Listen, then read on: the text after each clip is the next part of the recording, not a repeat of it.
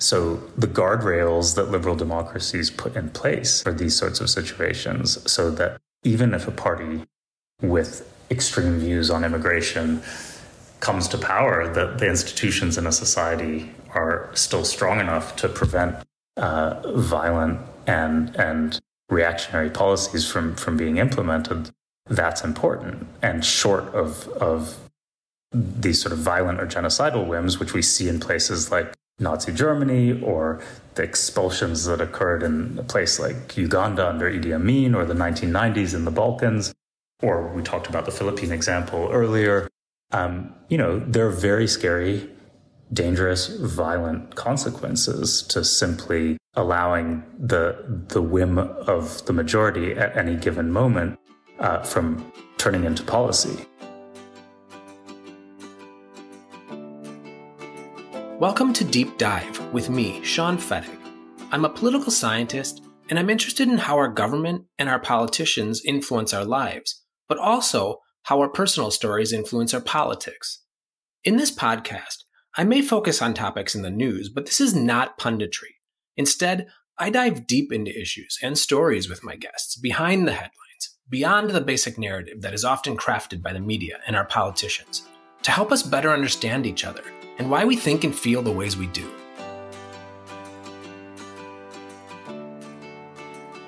Today's episode is the final part of my three part miniseries, my pursuit of understanding this far right nationalist movement that motivates Trump supporters, contemporary Republican voters. In the first part, I spoke with Arlie Hochschild, and we talked about the sense of loss that these supporters harbor, that they missed out on the promise of the American dream, and that what's worse, people less deserving were given a leg up ahead of them by the government, enabling them to bypass them in the proverbial line to advancement. Ultimately, that their chance was stolen from them. In the second part, I spoke to Philip Gorski about the role that white Christian nationalism has played in the trajectory of this movement, that white evangelicals have come to embrace a virulent form of nationalism that is rooted in blood and soil and not in shared civic or democratic values, and this allows them to construct an emotional and intellectual bridge, separating them from other Americans broadly, and specifically connecting them to coalition partners that are beyond the pale and ostensibly make for odd bedfellows, white supremacists, and violent, xenophobic, and racist anarchists. But this phenomenon is not limited to the United States. There are companion movements, arguably more deeply rooted and historical, gaining traction in other countries, like Australia, South Korea, South Africa, and also across Europe in places like Italy, Germany, France, the Netherlands, Denmark, and the UK. And so today I'm talking to Dr. Sasha Polakow-Suransky, deputy editor of Foreign Policy magazine and author of the 2017 book Go Back to Where You Came From The Backlash Against Immigration and the Fate of Western Democracy. This book is an indictment of the nationalist, xenophobic, anti immigrant movements coalescing around the globe. It traces the origins of these movements, what has contributed to their rise, how politicians and activists have preyed upon and exploited very real concerns, twisting them into something violent and destructive for not only the folks that exist outside of the in group narrative, but of liberal democracy, maybe just democracy itself. We also discuss why this matters and how to bring these people back into some sensible realm of policymaking that doesn't lay waste to the very values and principles and ideals that form the bedrock of our democratic systems. Incidentally, I was struck by Dr. Polakow-Suransky's identification of the Great Replacement theory as being a driving factor behind these movements, well before it became the grievance grail of Republican messaging that it is today in the United States. Let's do a deep dive. So, Dr. Polakow-Suransky, thanks for taking the time to be here and chat with me. I know you're a busy man, so how are you? I'm all right. Thanks so much for having me. Absolutely. So, most of the conversation that we're going to have is going to center around your your book and, and, and the insight therein. And the book is "Go Back to Where You Came From," or at least your second book, right? So, "Go Back to Where You Came From." Uh, the backlash against immigration and the fate of Western democracy. And I think the subtitle is incredibly important here. Yes. So this book was published in 2017, and a lot has happened since. So I want to talk about the arguments you're making, some implications in this kind of changing landscape, and then I suppose maybe hone in a bit on that final part of the subtitle, the fate of Western democracy. But to start off, I think there's a distinction that has to be made to understand why this conversation about immigration even really matters. And so that distinction is kind of embedded in this. So to your average small d Democrat, democracy is somewhat crudely, you know, identified or, or defined as majority will. And so in that landscape, even quote unquote losers will accept the outcomes if it reflects what the majority wants. But liberal democracy goes a step further and includes things like rule of law and protection of human rights, you know, something like separation of powers, et cetera. And it's here where I think a lot of nationalist anti-immigrant policies kind of run a bit afoul. So, um, you know, the average Democrat is unfamiliar with the tenets of a liberal democracy. I think it provides an opportunity then for nationalist politicians and elites to exploit policies that might reflect, you know, quote unquote democracy, but not liberal democracy. So I've taken an initial stab at it.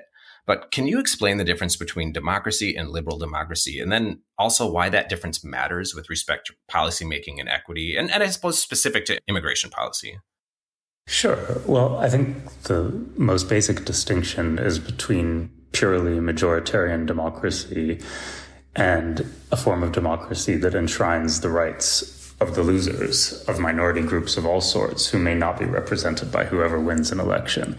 And crudely majoritarian democracy would mean that the winner's will goes no matter what. They could expel groups of people that they don't like. They could jail pe- groups of people they don't like. They could strip rights or citizenship from groups of people who they don't like. And what's ironic about some of the calls from nationalists who object to immigration and who object to other tenets of liberal democracy is that most advanced, wealthy Western countries are liberal democracies and have these sorts of rights enshrined in their constitutions, or if they don't have constitutions, their basic legal systems.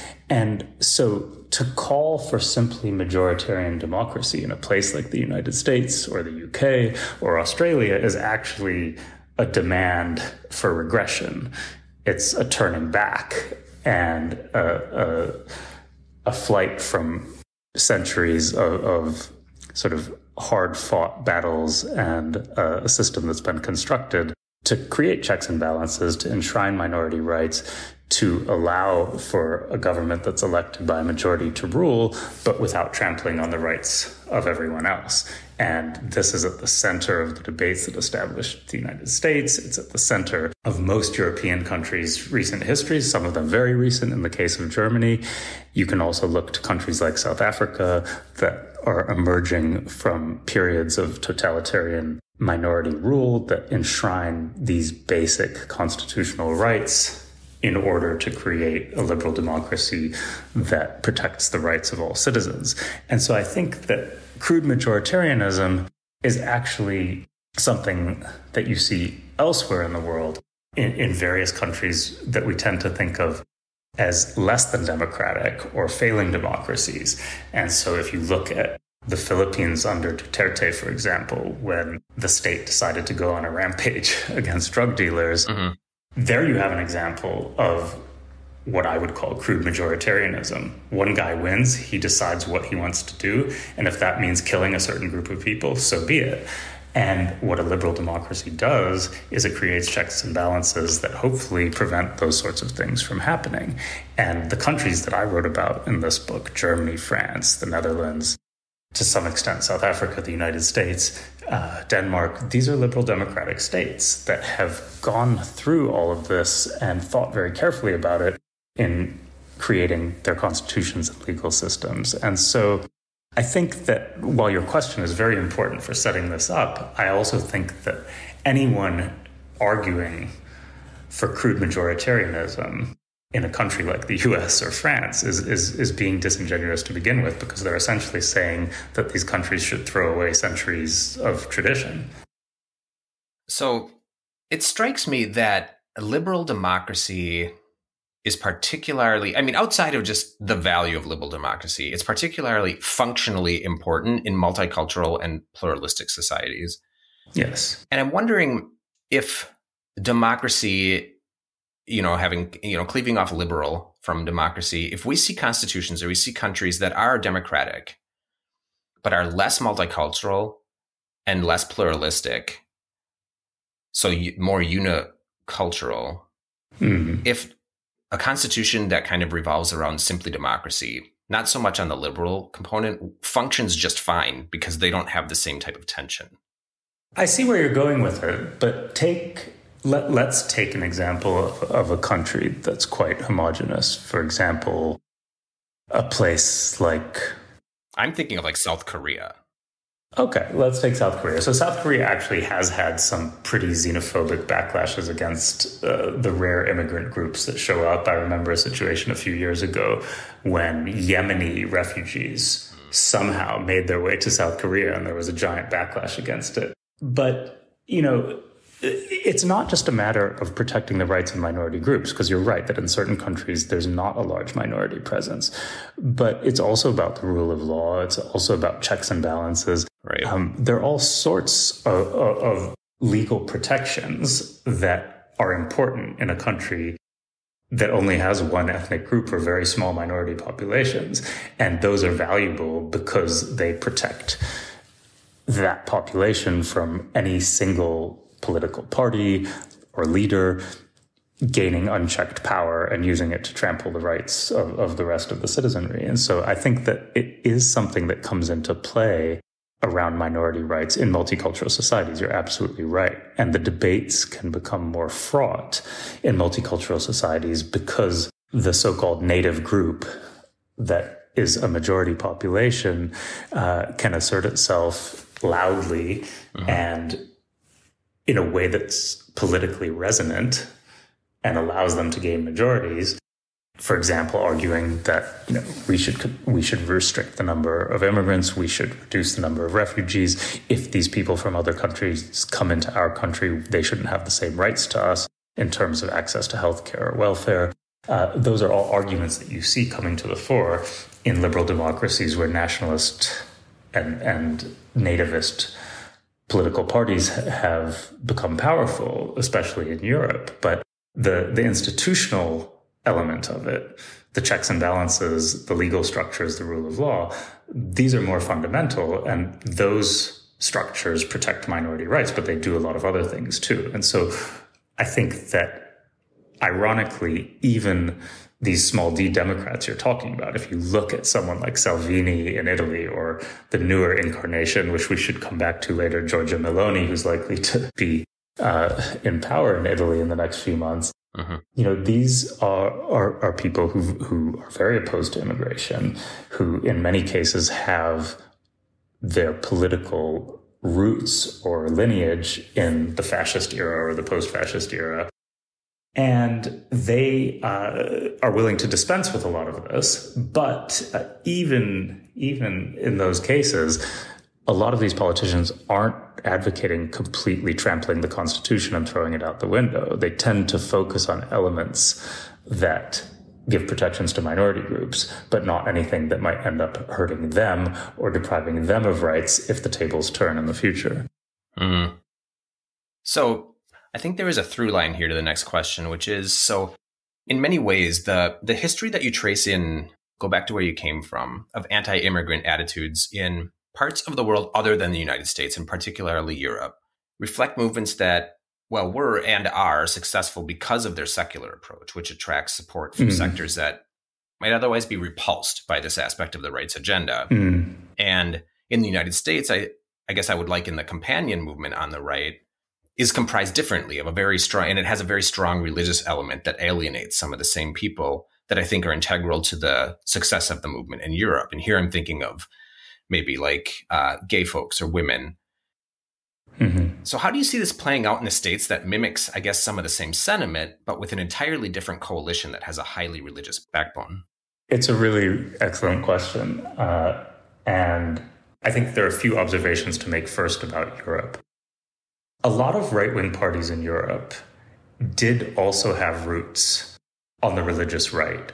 They have they still today have elements with roots in the religious right. If you look at members of, of Marine Le Pen's party in France, of the Danish People's Party in Denmark, there are still some Christian nationalists and, and really hardcore religious conservatives in these parties but they needed to rebrand themselves in order to sell themselves to a larger public.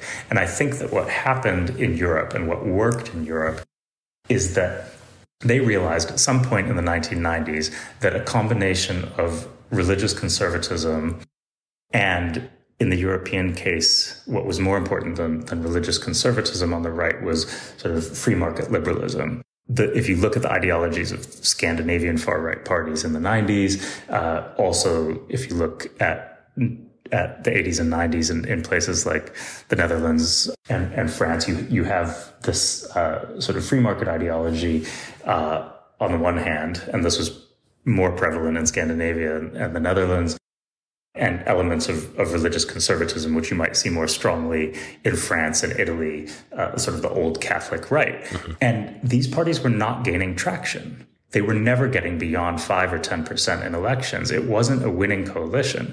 And the genius of what these politicians did between roughly 2000 and today is they built a larger coalition, and that meant peeling off voters from the center left and the center right. And the way that they did this was to shed some of that baggage. In Le Pen's case, she made a real effort to do what she called de demonize the party and distance herself from her own father, distance herself from the anti Semitic baggage that her father brought with her, any elements of sympathy for the Vichy government in France during the World War II era, any trace of neo Nazism.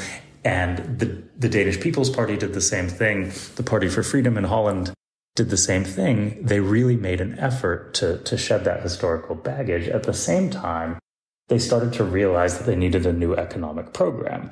And I think a lot of this was strategic and opportunistic rather than ideologically driven.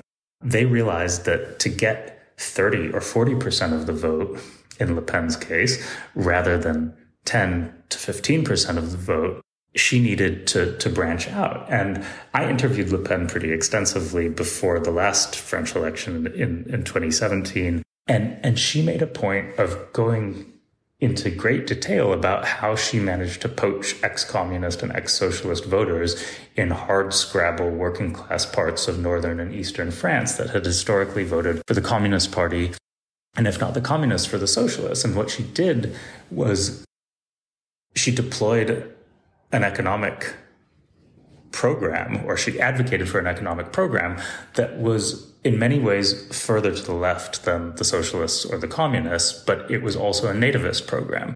And if you look at what the Danish People's Party did in Denmark, it was very similar. Uh, they were staunch defenders of the Danish welfare state, but for us, not for them. It was a nativist defense of the welfare state, what is sometimes referred to as welfare chauvinism or welfare nationalism in the political science literature. Le Pen given her background, is reluctant to ever use the word welfare or its French equivalent, but she essentially admitted that she had created a political program that resonated with people who had looked to a strong state and who wanted a strong state, but that it was what in France is called national preference. And so this combination of shedding the historical baggage of associations with Nazis or fascists and advocating an economic program that resonated with left wing or ex left wing voters really increased their numbers and really increased their electoral draw. And so I know that's long winded, but it's important background for understanding how they went from peripheral to central political players. And at the same time, they started to openly court these groups that you're talking about that we would not traditionally think of as, as right wing constituencies. So gay voters, Jewish voters, women voters. And the way that they did this in many places was to argue that Islam and specifically Muslim immigrants were the greatest threat to these groups. So they would cite incidents of uh, young men with North African backgrounds, for example, in the Netherlands, beating up a gay couple. They would find any statistics of rape cases involving immigrants and say this is a threat to women. And of course, anti Semitism has been a problem both with immigrant populations and native populations in countries like France. But there have been a number of violent anti Semitic incidents involving people who are immigrants or descended from immigrant families. And Marine Le Pen and, and her allies would bring this to the fore in the political debate and say, you Jews are afraid of us because of what my father used to say or who my father used to associate with, but look at who's threatening you now. It's not us, it's them. And it was very effective. It wasn't necessarily true, but it, it, resonated enough that they were able to peel off some of those voters. And I think if you look at the data, you'll find that most Jews in France still do not vote for far right parties, but some of them did. And some gay people did, and some women did because they bought into this rhetoric. And so they, they managed to to poach voters, if you will, um, from the left uh, by appealing to traditionally left wing issues. But ultimately, I would argue that it was the economic policy more than these culture war issues um, that, that really resonated and brought people in large numbers. So that's a very uh, long winded way of getting into your question about the US. The US, you're right, has a very different political landscape. And if you look at the Trump coalition, you see that there is this strong element of, of hardcore conservative Christian right wing voters backing Trump. But those voters have traditionally backed Republican candidates.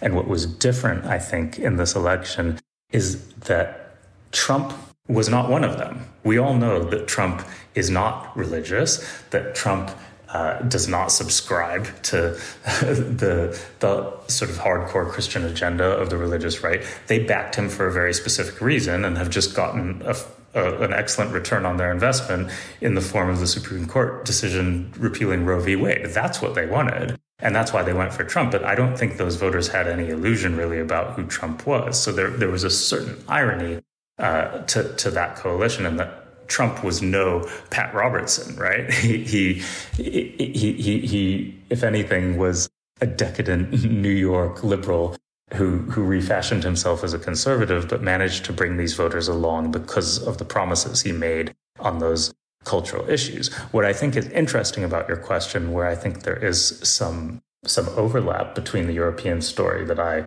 just told and the the 2016 election cycle in the US is that Trump also disrupted the tradition he disrupted the traditional republican economic narrative and borrowed some of these ideas from the successful far right parties in Europe.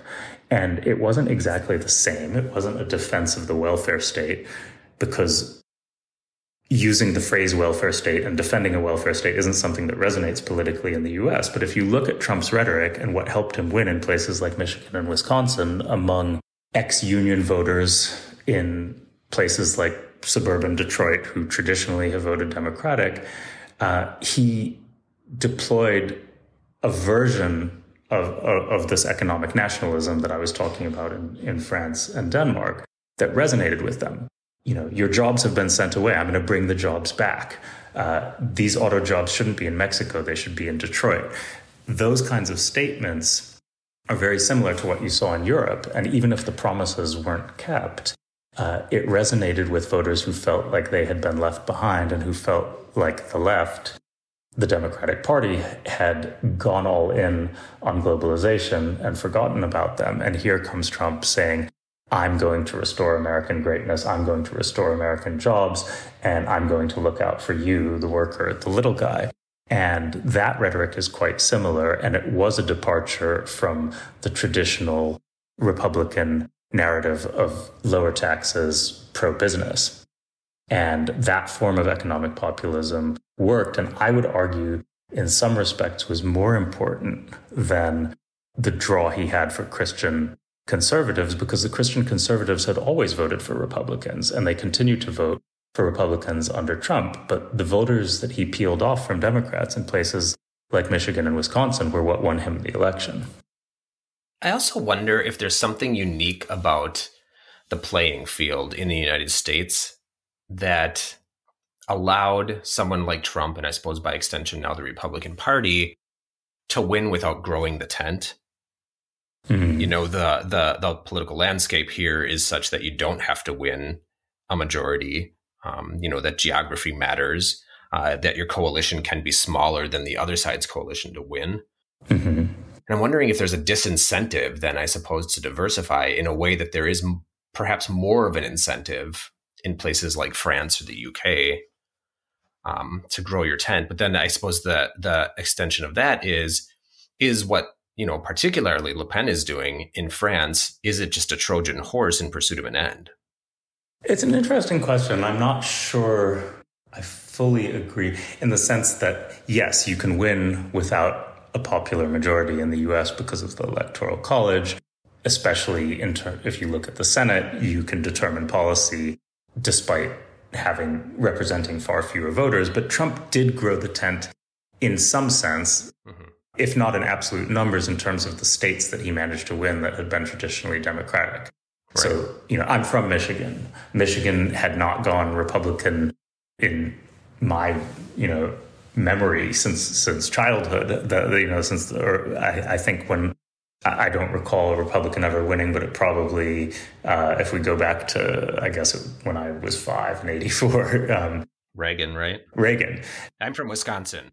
Yes. Yeah so you know it's a similar story right? Yeah and yeah. so play so so in in in some respect there was a growing of the tent geographically even though the margins were narrow and that was and even though he lost the popular vote the, those turns in our two states were significant and and um, if not uh, the determinant of his win, a, a huge, huge part of it, along um, with a few other states. And so I think that's important. I think your your question about Europe is interesting because you have a coalition system. You don't have to win a majority. You don't even have to come close to winning a majority in a lot of these countries uh, in order to um, exert real power if you're part of a coalition or even if you're not part of a coalition. And so mm-hmm. I think what we've seen in a lot of European countries that, and this is an argument I make in the book and that I've made since, is that you don't have to win elections in order to win the debate. And what they've done in, in Denmark and the Netherlands.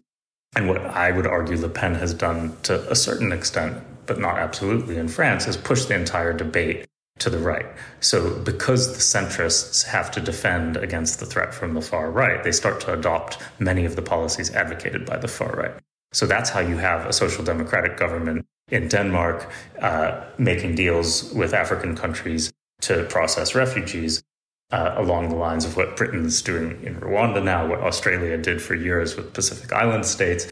That's not something traditionally that one would have expected from a left wing party, but they were so pressured by the far right that once in power, they feared losing voters to the far right and started to adopt many of their policies. And you see this happening all over the place now. Uh, you can even see it happening in places that are a bit off the radar in terms of the debate on immigration and xenophobia. For instance, Turkey which will be heading into an election next year, which has a rising far right politician who is having this effect on the political landscape in Turkey, uh, which has the largest refugee population in the world at the moment, with somewhere over 4 million Syrians. And while they welcomed them for a long time, that is becoming a political football now. Resentment is growing, and politicians of all stripes are starting to talk about sending them back, which is something new but almost inevitable in Turkish politics because with high inflation and a strained economy, these sorts of candidates are going to find fertile ground for their arguments. So it's not something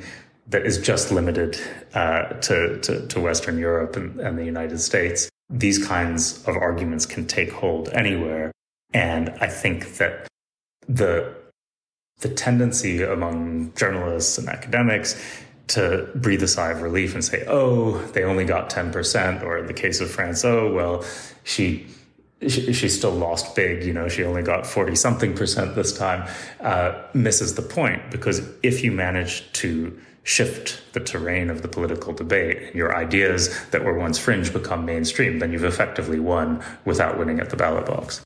So, and this is a, a legitimate observation that that most anti-immigrant attitudes are directed at people coming from places like developing countries, um, and I suppose, or immigrants of color. And in the, the United States, this is Arabs or Muslims and Hispanics, and maybe, you know, increasingly lately Asian folks. Mm. And this is something that you talk about or that you mention in the book is that a lot of the policy preferences for anti immigrant parties and politicians are unfairly targeting these folks. And I, I wonder if the policies would seem so I guess, draconian if they were equitably applied to all immigrants. And that means regardless of their background or country of origin, their race mm. or religion. And where I'm going with this is if it applied to white immigrants in the same way that it applies to immigrants of color. Yeah. And I, I guess we're kind of seeing that dynamic play out now with Ukrainian refugees, and I'm wondering what your thoughts are.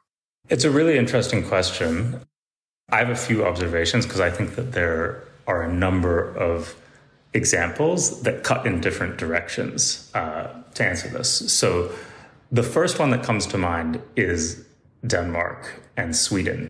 And I'm not sure what the latest incarnation of, of Danish spouse visa immigration law is, but there was a point about a decade ago when the Danish government came under extreme pressure for having targeted Muslim immigrants with a very draconian law that effectively made it impossible to marry a spouse based outside of the country, which a lot of young uh, Pakistani immigrants and Syrian and other Middle Eastern immigrants were trying to do. And Turkish immigrants, they, were, they would try to bring a spouse over, and the Danes were trying to restrict this. And so it was a very targeted law that stopped these sorts of family reunifications. But they were criticized for it. And so they made it into a blanket law, which meant that if a Dane was marrying a white Canadian or a white Australian, they faced the same problem. And a lot of those couples started moving to Sweden, which is just a quick train ride away across the bridge from Copenhagen, mm-hmm. because the blanket law caught so many people in its net who were unaccustomed to um, to, to this kind of draconian law. And so that was one example of a state going too far in a very targeted and discriminatory direction, and then casting a very wide net, and then getting ridiculed even more because it was starting to affect people who actually had power and influence and were not willing to stand for it. Now, the mo- most interesting example, I think, is the UK. And if you look at pre Brexit Britain and who was being ridiculed and who was resented by a certain element of the population, yes, there was a lot of racist campaign literature prior to the Brexit referendum showing long lines of mostly brown foreigners uh, used as a scare tactic and saying, you know, they're coming, or pictures of people coming in boats across the channel, which is still being used in the tabloids here. Mm-hmm. So that there was part of that was part of the Brexit campaign. But what tends to to be forgotten these days is there were huge, huge numbers of Bulgarians, Poles, Romanians, and other Eastern Europeans working in the UK prior to Brexit and they were picking vegetables and fruit in the fields. They were working as Uber drivers. They were working as truck drivers. They were working in slaughterhouses. They were doing a lot of low wage jobs that many British workers weren't keen to take. And yes, there were plenty of non-white immigrants in these industries too. But as a result of, of, of the sheer numbers of Eastern Europeans who took advantage of freedom of movement when Britain was still part of the EU, there was a tremendous amount of anti Eastern European racism and discrimination among uh, the British population, especially working class Brits, not just white ones, mind you, uh, you know, the working class generally. Mm-hmm. And there was a lot of vitriol directed towards these populations, who, of course, were all white for the most part. And so, so there was like quite a complex form of xenophobia in, in this country prior to Brexit. And it's very noticeable now that a lot of those people are gone. Some of them who were able to get permanent residency and, and settle here are still here, but the numbers of, of hotel workers, farm workers, uh, truck drivers from those Eastern European countries, people in the construction trade, a lot of them have left because they had to under Brexit, or it was just too onerous uh, to to get the, the, paperwork to stay, and and they've gone, which has had all sorts of consequences for the British economy. But it's a reminder that this can be directed uh, at, at, at any population. It can also happen in countries like South Africa, where xenophobia is rife, but it's directed by black people against other black people, namely African immigrants who've come to South Africa. And South Africa, for the last decade or so, has had a series of violent clashes and and um, essentially pogroms and lynchings of Zimbabwean and Somali and other immigrants by native South Africans. Everyone's black, so it doesn't get noticed in the way that white on black or white on brown racism gets noticed, but it's it's extremely dangerous, it's extremely violent, and it's very scary because there also is a rising star in South African politics now who's trying to instrumentalize this and take advantage of it. And like Turkey, South Africa is a country that's ripe for this because people want a scapegoat when the economy is imploding. And so this is all to say that the traditional model that we tend to think of when we think of xenophobia doesn't apply everywhere.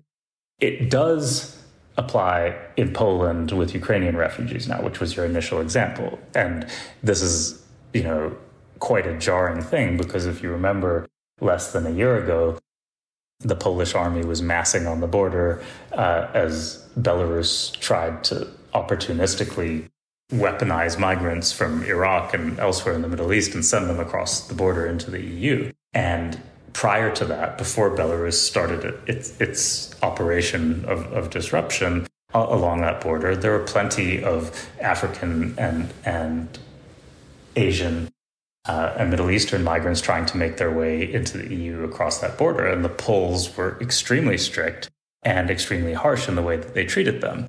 And as soon as millions of Ukrainians started to stream across the border, that changed. And so some people would rightly, in my view, argue that there was a double standard and that the Poles were welcoming fellow white Christians from a neighboring country while they were chasing away Sudanese and Afghans who, in many cases, were fleeing just as legitimately as the Ukrainians. But it, it also shows that countries with a bloody and not so friendly history can change their outlook. And uh, that seems to be what Poles have done for the time being, at least uh, in accepting large numbers of Ukrainians. But I'm not sure it's going to last forever. I wouldn't be surprised if this goes on for five years, if at some stage you start to see the same kind of resentment in Poland as we saw in Britain with Eastern Europeans.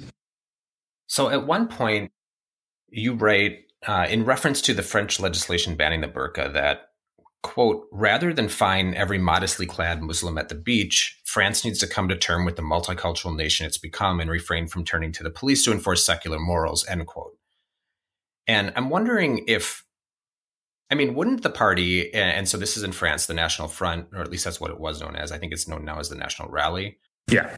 Wouldn't their response you know, the nationalist response be, I mean, essentially, no, we don't. I mean, essence, isn't this their argument that they shouldn't have to come to terms with multiculturalism? And I, and I know you'd address this in the book, but I'm wondering if you could expound on it here. It's an interesting question. And I think what it comes down to is a debate between civic nationalists and ethnic nationalists. So it's one thing to say, that we feel cultural loss. And this is the phrase that often gets used. Uh, it's a phrase that was used in the US during the civil rights movement. It's a phrase that you hear quite a lot in European countries. You know, we are not who we once were. Our culture is disappearing. All of these foreigners are coming in. We hear more Turkish than German on the streets of Berlin. Uh, we hear more Arabic than French on the streets of Paris, et cetera, et cetera. And I think that there is a legitimate argument on the right about culture and preservation of culture if the argument is we want to be able to talk to our neighbors, for instance. So someone who complains and says, I speak English, but all of my neighbors now speak Arabic or Urdu, and I don't feel at home in my own neighborhood anymore. The person making that argument may or may not be racist. I think they often are.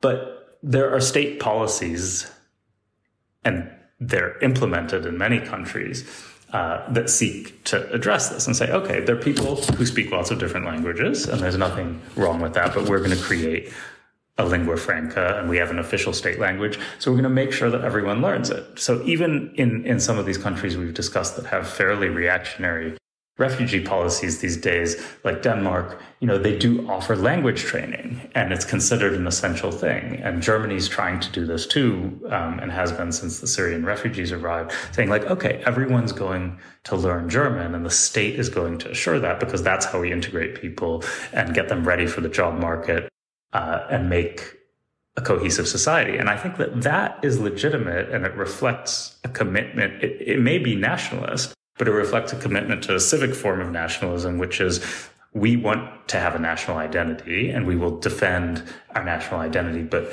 anyone can be part of this nation. You don't have to be white. You don't have to be Christian, but you should speak English or German if you're going to live in Britain or Germany. That's one approach. But the ethnic nationalist approach is to say, we are a white Christian nation. We should always remain a white Christian nation. And therefore, we cannot accept a growing population of Jews or Muslims or Hindus. And that is where a lot of these nativist uh, policies come from, and what I think is the underlying ideology of many of these parties. And they sometimes try to mask that ethnic nationalism with rhetoric that sounds like a commitment to civic nationalism. But if you dig deeper and if you listen to them at their campaign rallies and you listen to some of the policies that they're advocating for, like stripping people of citizenship, making it more difficult for immigrants to acquire citizenship, or another thing that's happening in Denmark at the moment, repatriation is the friendly way of saying it, but deportation is the more accurate way of saying it, of Afghan refugees who came to Denmark, Syrian refugees who came to Denmark fleeing war, and suddenly the state declaring we're going to send them back because Syria is safe now. Mm. Afghanistan's safe now, which of course is a joke, but the state makes that determination. And then people who have lived in Denmark or one of these other advanced European countries for their entire adult life is suddenly sent back to a war zone. So I think that that is the distinction that's important here is whether your commitment when you say we want to preserve our culture, we don't want to experience cultural loss, whether the driving force behind that statement is a commitment to an ethnic form of nationalism or a civic one, because a civic form of nationalism can welcome and encompass all of these groups with the goal of turning them into French people, you know, turning them into productive French citizens who are included in the nation or productive German citizens who are fully included in the nation rather than excommunicating them or sidelining them. And so I think that that, that is the key. And I, I want to say one other thing about it because I think that there's also, this goes back to your first question about, you know, small d democracy, majoritarianism, and, and liberal democracy. There's also a, a longing for a bygone era implicit in this. And so, you know, if, if a French person says, you know, we don't want to see people wearing uh, a, a, burkini, or we don't want to see any form of veil uh, anywhere, and we don't want to hear uh, Arabic or Urdu on the street. It's a nostalgia for an era that hasn't existed for decades, right? If you look at France in the 1960s, people were speaking foreign languages. There were people of different religions. And, and you see this in the US too, this sort of harkening back to this kind of leave it to beaver era of sort of pristine white, you know, rural or suburban life. And um, it doesn't exist and it hasn't existed for a long time. And so the, the imagined community is actually a fiction. It, it, it hasn't ever been like that. The US has been a very diverse nation for a very long time. There were Asian immigrants, you know, coming coming to the U.S. in the 19th century, um, and and so I think that a lot of these groups, when they express a nostalgia f- for for this supposed nation, they're actually expressing nostalgia for something that, that has has never existed, uh, or at least in the last century has not re- existed. And so it's not even really nostalgia at that point. It's it's sort of imagining a regression um, to, to to something that hasn't existed for for many many years. And so I think that what, what I'm arguing in the book is yes, you, you can protect your culture to some extent and you can set certain boundaries, but uh, to pretend that there's never been anyone who spoke a different language or had a different faith um, is ridiculous. And it, it, it, doesn't have any basis in, in recent history. These countries have been multicultural in one way or another for a very long time. And yes, uh, they've become more multicultural in recent years. And there's a legitimate debate to be had over the pace of immigration and the number of immigrants that come in in any given year. And that I think is an important debate. And again, is a place where people on the right have a point. And again, it goes back to the civic versus ethnic nationalism question that we were talking about a moment ago. It's one thing to say, we can admit 20,000 refugees per year in Denmark, for instance, or in Germany, say we can admit 100,000 refugees per year because that's the number that we can manage to teach German, enroll in schools, put in job training programs, and successfully integrate into the society so that they can become productive and functioning citizens alongside the rest of us.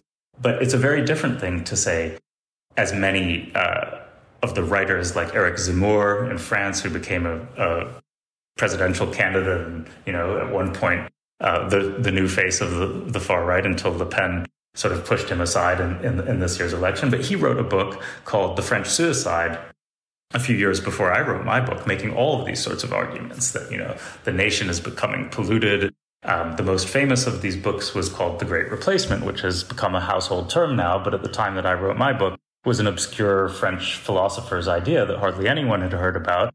And now suddenly it's on the reading list and in the manifesto of every mass shooter across the globe, uh, whether it's in New Zealand, the guy who, who murdered dozens of people at a mosque, or the more recent shootings in the US and Buffalo, the synagogue shooting in Pittsburgh, the Great Replacement is suddenly the basis of all of these massacres. And the central argument there, again, is very similar that our tradition and our population, our white native population, is being replaced by a new population, and, and we, the natives, will cease to exist.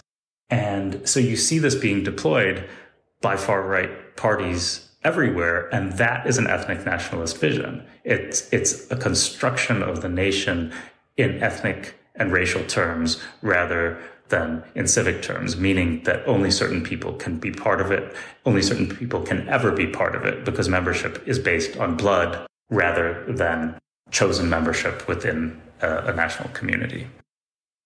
You know, I am struck by this argument about cultural loss, and I do want to follow this just a little bit further. Sure. So, I, you know, I do have, you know, I want to be careful with this. I do have some sympathy for an argument of maintaining some traditional social structures. You know, that that societies and communities can be defined and envisioned through some lens that casts, you know, some unique aspect onto itself. So, you know, like what does it mean to be French and not German, or was it what does it mean to be Spanish, not Italian? And I think you touched on this. These things can operate on some type of a spectrum or on a continuum. You know, culture can be measured very narrowly, you know, by how we dress, maybe, and it can be measured, you know, much more broadly, like maybe just our, you know, a measure of kindness that we we extend to our neighbors. I don't know, by way of example.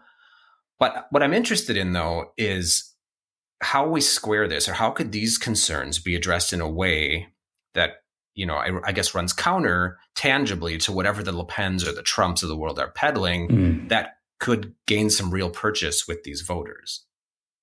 So your question really is sort of what policy measures could you advocate that respond to this concern, but do not cave to the illiberal populists on a moral level? Right. No, I think I think that there are things that you can do, and I don't think that everything that uh, people who vote for far right parties worry about. I don't think everything they worry about is illegitimate. I think that their fears are often played upon mm. and exacerbated and stoked by nativist politicians. But there is a legitimate element underlying some of them.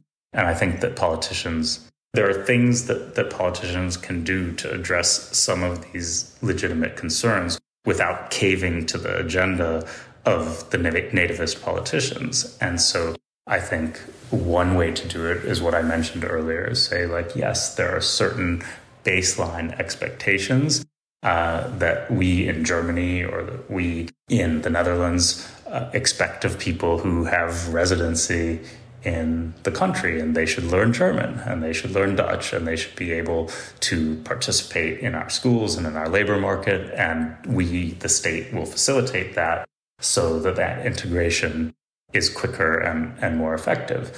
I think that there are things that can be done in labor markets, for instance, um, where there's resentment based on loss of jobs and that can range from job retraining programs uh, to making it easier for immigrants and refugees to work legally. And this sounds like a bit of a contradiction, but I actually think that it could alleviate some of the problems because it's so hard for immigrants and refugees to work legally in so many countries, they tend to work under the table or on the black market and undercut the wages of the native population because they're paid by opportunistic uh, local businessmen and employers at cut rate wages, thereby undermining the wages of the natives and creating even more resentment against them. So, you know, there, there are things, and I think on, on a very basic level, understanding and respecting the anxieties. Politicians rather than dismissing it and saying you're a bunch of racists, you're a basket of deplorables, as Hillary Clinton famously said,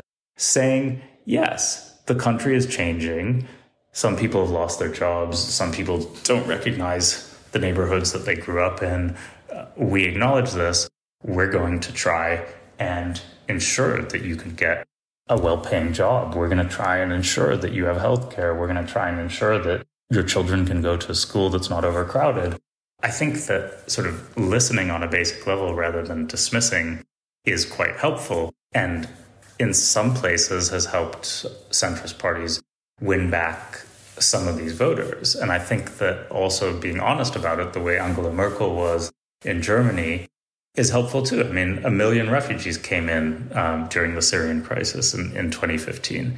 And it was too much for Germany to handle. And it was an extreme strain. But she said, this is exceptional, we'll manage it. And even the detractors within her own party who had tried to reduce the numbers or, or stop uh, such large numbers from coming in, their reaction was, we need to make this work. We need to integrate these people as effectively and, and as quickly as possible. And I think that that uh, is also an important way of handling this. Uh, rather than simply dismissing the concerns or simply saying like this is going to be easy there's no problem at all, uh, you know, nothing's going to change. Um, because I think that is what tends to rile up and, and really anger voters who are already primed to be resentful and, and, distrustful of these sorts of policies. But I think it has to be done in a way that doesn't completely cave in to the agenda uh, of the far right parties by simply adopting their policies and saying, okay, we're going to start sending people back, or okay, we're going to start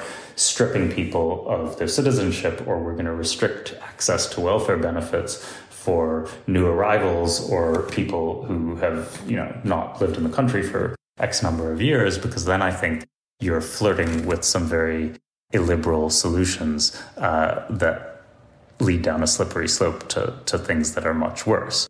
Um, going back to, to your initial question, because I think this is where it leads, if you simply cater to the whims of the masses, that can lead to some very dangerous things. Uh, sometimes the masses demand mass expulsion of an entire population or even killing them. Mm-hmm. And so the guardrails that liberal democracies put in place for these sorts of situations so that even if a party with extreme views on immigration comes to power, that the institutions in a society are still strong enough to prevent uh, violent and and reactionary policies from from being implemented.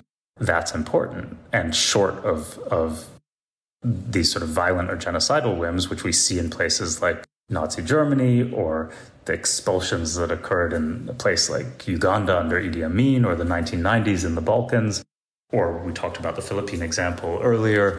Um, you know, there are very scary, dangerous, violent consequences to simply allowing the the whim of the majority at any given moment uh, from turning into policy. And so I think that having those guardrails in place is extremely important, especially given that far right nativist politicians are so close to coming to power in so many places and have even come to power in, in several countries around the world. So you wrote this book before this year's French election and before Boris Johnson's kind of undoing in the in the UK.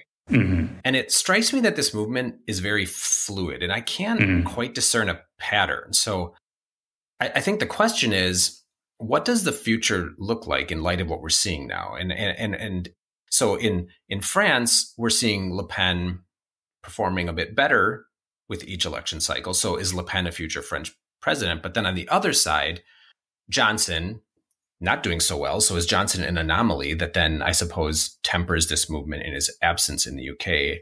That's not even considering Giorgia Meloni in Italy and what's happening just in the mm-hmm. last week or so. So do you see a pattern or is this just a very fluid movement?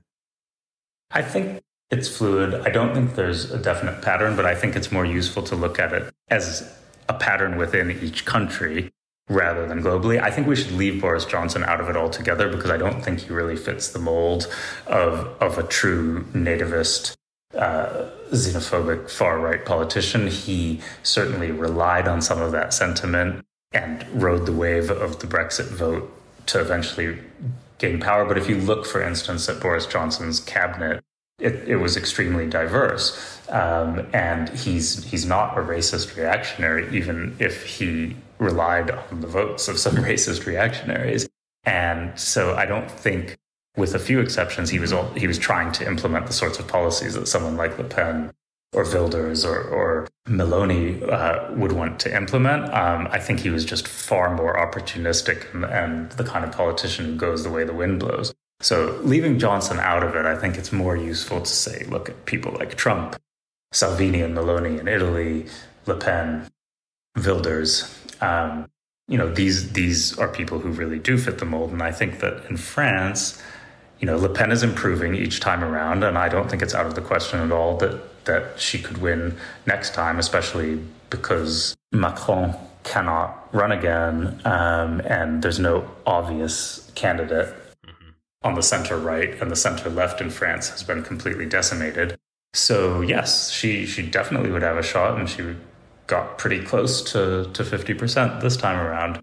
So in France, it's it's a very real possibility. In Italy, it's about to happen. I think that it's it's highly likely that there'll be a right wing coalition, and Meloni is positioned to to be at the head of that because she has outmaneuvered Salvini, and Berlusconi is very old and uh, politically passe, and so she's the rising star on the right, and um, she's she's likely to be heading the next government. And remember that her party, Brothers of Italy, is has a direct lineage back to to the neo-fascist post-war years, and so she denies that and says that she's moderated in the same way that Marine Le Pen has, but um, she hasn't even disavowed that lineage to the extent that Le Pen has in France. And so I think there's a real risk in Italy that that some of these sorts of policies will will become mainstream in the same way that they started to become uh, state policy um, when when Salvini was close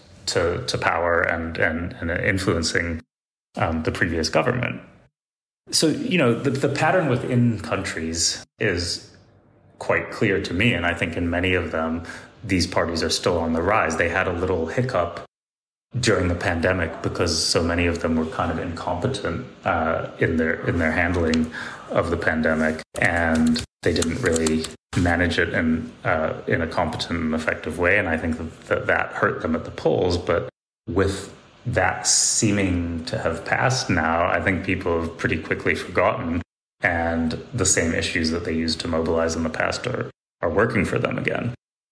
In the US, briefly, I think that a lot of this uh, is still very ripe for Trump or a successor, an ideological successor to Trump, to take advantage of and, and mobilize people. Um, so I wouldn't be surprised at all if in the 2024 campaign, we see a resurgence of nativism and backlash against immigration, whether it's Trump or not. Uh, I think that he proved that that can be a, a very effective mobilizing issue. And saying things that were once considered beyond the pale in the Republican Party actually managed to help Republicans win in places that they hadn't previously had a chance. Mm-hmm. Okay, a final question. Yeah. As always, so, what is something interesting you've been watching, reading, listening to, or doing lately? And it doesn't have to be related to this topic. I I just read a novel called Spies in Canaan by an Irish writer whose name I'm blanking on at the moment. And it's sort of set in the last days of Saigon uh, and narrated by a sort of low level CIA operative who is engaged in various activities ranging from moral to immoral as South Vietnam falls, and then sort of reminisces on this many decades later in the novel. And I was reading it sort of alongside editing articles about the war in Ukraine, specifically sort of anniversary pieces on the fall of Kabul in Afghanistan. And it sort of got me thinking uh, about the parallels between those two historical moments. And I know the analogy's been made before, and it obviously does have some some relation to the topic that we're talking about in the sense that uh, both of those events produced mass refugee outflows. But reading it in the form of a novel rather than uh, an op-ed or sort of straight straightforward political analysis, which is what I spend so much of my time doing, was was refreshing on some level because it brings out um, the moral and philosophical dilemmas faced by people in these moments who are trying to do good in a situation that makes that almost impossible. Dr. Polakow-Suransky, I think this was a great conversation. I really appreciate you taking the time and chatting with me today. Thanks so much for having me. I enjoyed it.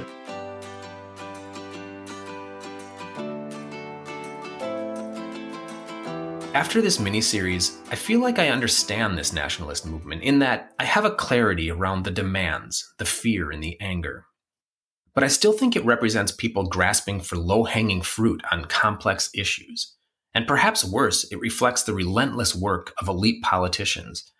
People like Donald Trump in the United States, Marine Le Pen in France, Giorgia Meloni in Italy, Geert Wilders in the Netherlands, preying on the fears and anxieties of their countryfolk. And in end, in the final analysis, the countries they seek to craft will rain down horrors and violence and deprivations that cannot be checked. They will ruin the lives the legacies and the futures of everyone, not just their specific targets of derision and exclusion. It seems at this point that we are teetering on the edge of some global collapse of democracy and democratic ideals. And even for those of you that find democracy as having produced little substance and poor outcomes, I ask you to imagine the world that fills its void. Democracy is not perfect. It is messy. In fact, that's one of its obvious challenges. Democracy requires attention and dedication and investment and I fear that we've become such commodified convenience cultures and with little motivation to maturely process our emotions and reactions that we just can't be bothered. And it is, in part, this that has created fertile ground for democratic predators to flood the valley. In the United States, I have the distinct feeling that a 2024 Trump candidacy, or any Republican candidacy in the mold of Trump, will have moved, at least in part, away from the nativist messaging of 2016 that was rooted in blood and soil American identity, which functionally just means white Christians slash supremacists, to a nativism rooted in party identification, that the them that doesn't belong and doesn't deserve any rights or protections is Democrats, or more broadly, liberals. This would mark a significant turn in our politics, one that mirrors fascist takeovers in other countries, obviously Nazi Germany, but also Italy under Mussolini, Chile under Pinochet, Russia under Stalin and now Putin, and Venezuela under Hugo Chavez. But there is still hope, and so I've asked my guests their thoughts. Dr. Hochschild suggests tapping into a patriotism, a sense of shared values that isn't limited to blood and soil. Dr. Gorski suggests that the body politic and the body civic need to double down on work at the state level and also that we should promote and encourage the work of Christian voices condemning this turn toward fascism, nationalism, and xenophobia as what it is, unchristian. And Dr. Polakow-Suransky suggests that leftist politicians can listen to these concerns and these anxieties of its citizens without immediate condemnation, and instead offer very tangible policies that address those concerns without advancing cruel, nativist, or xenophobic narratives or embracing autocracy and authoritarianism. Okay, next week I'm talking to Radmila Segol, an editor, translator, and associate professor at the National Technical University of Ukraine. She's also a friend of mine, and she lives in Kiev. We will talk about Putin's war, the impact it has had on her daily life, as well as that of her friends and family, the illogical justifications for the invasion and how that plays in Ukraine, if Ukrainians can ever forgive Russia, and what she expects the future will look like in Ukraine. In the meantime, as always, if you have any thoughts, questions, or comments, you can email me at deepdivewithsean at gmail.com. And you can find me on Twitter at deepdivesean and on Instagram at deepdivewithsean. Chat soon, folks.